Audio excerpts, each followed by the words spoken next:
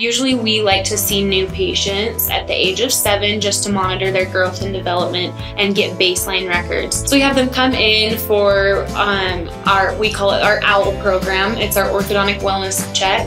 We compare their records from before and we compare them to that day and kind of see if there are any things that we're needing to correct early on to prevent, you know, jaw growth issues um, that can prevent jaw um, jaw surgery later on, that sort of thing. And we just like to check them. That way it's kind of nice for the parents. They kind of don't have to worry about it.